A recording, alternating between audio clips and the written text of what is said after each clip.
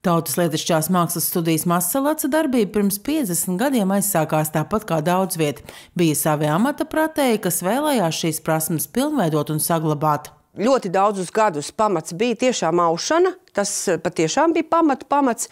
Tad uh, adītājs palika uh, ražīgāks, aktīvāks un, un ieinteresētāks. Un tad jau pēc kādiem, tad, kad iegūs studijas nosaukumu, nu tad tas jau atkal jau izvērsās pavisam, jau pavisam citā mākslinieckā līmenī. Šajos gados, protams, studijā ir mainījušās vadītājas, bet no 2015. gada to vada pieredzējusī profesionālā audēja Gaļina Birkava. Bija pāris meitenes, pāris kundzītes, kas bija bija priekšzināšanām, jā, bet viena liela daļa faktiski tur bija jāsāk no jauna. Vienā ziņā tas ir tā, ka jāņem jauns cilvēks, jauns iesācējs, vieglāk, jo tu viņus veido pa jaunam, pa savam. Jo veciem man ir pieredze, jā, kad viņš mācās, viņš ņem, bet viņš vienmēr balstās uz to veco savu bāzi.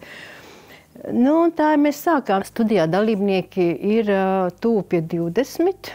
Un apmēram puse ir adītājs, puse ir audējs, bet audējs ir arī adītājs. Par būtisku attīstības soli studijas darbībai Gaļina Birkau vērtē to, ka Masalacā tika izveidot sava amatu māja, vieta, kur tad tagad arī darbojas studija. Stāstīt? Taisnība? Mm -hmm. Droši.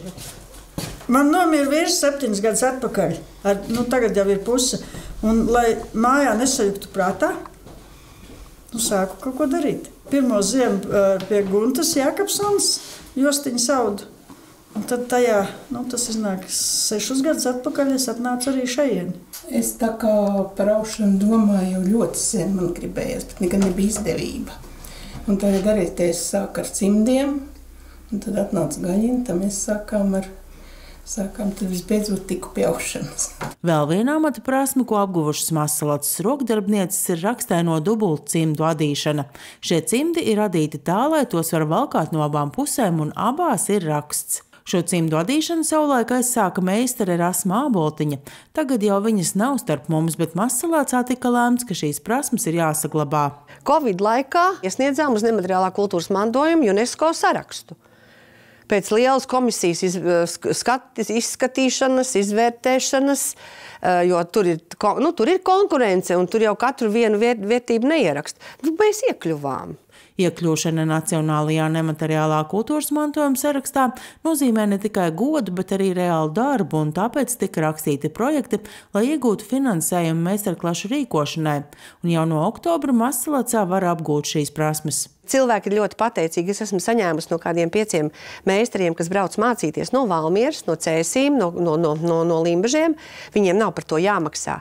Viņi maksā par to, ka viņi atbrauc, viņi maksā par materiālu, bet eh, tā meistarklase ir apmaksāta no kultūra kapitāla fonda. Bet runājot par studijas nākotni, tad, protams, te būtiski ir arī jauno cilvēku piesaiste.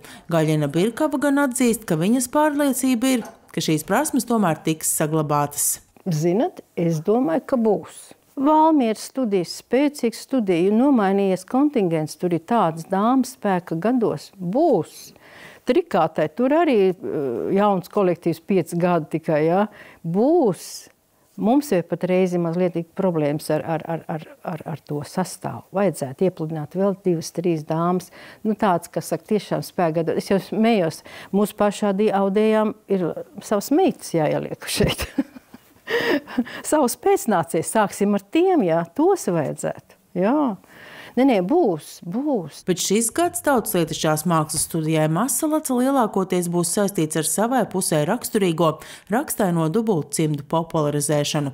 Turpināsies to adīšanas meistarklases, bet aprīlī pasākumā satiec savu meistaru un arī vasarā pilsētas svētkos būs šiem cimdiem veltīti semināri.